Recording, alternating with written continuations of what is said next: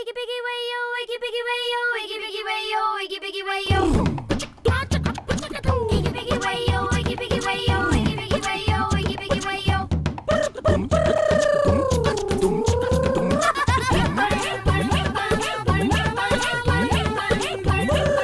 क्या बाइक ली है शर्मा ने एकदम बढ़िया